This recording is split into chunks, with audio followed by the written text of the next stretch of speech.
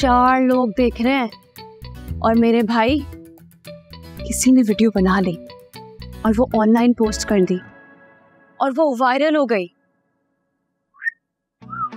वैसे हैरत की बात है कि आपका ब्यूटी पार्लर यहाँ से काफ़ी दूर है लेकिन फिर भी हर दूसरे दिन आपका गुजर यहाँ से क्यों हो जाता है? कि तुम क्या एक तफ्तीशी अफसर की तरह मुझे सवाल कर रहे हो? मेरी मर्ज़ी।